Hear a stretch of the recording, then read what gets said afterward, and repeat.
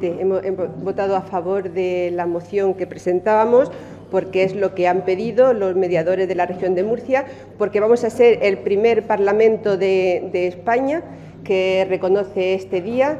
y, por tanto, hemos tenido que votar en contra de la, de la, enmienda del Grupo Parlamentario Socialista porque esa ley de mediación ya la pedimos y en, está, en ella está trabajando el Gobierno de la región. Señora García Retegui, guarde silencio.